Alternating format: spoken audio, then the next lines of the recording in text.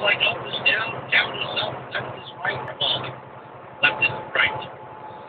And what uh, Scott's term was Elvis to Maybe Alvin Greene in the next center of South Carolina. Kind of like the life, kind of like the Get a present, not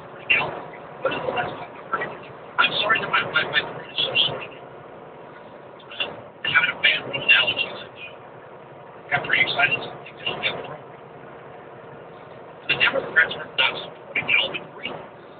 Now, why is that? And why isn't this Lindsey Graham upset about it? Why isn't Jesse Jackson upset about it? Why is Al Sharpton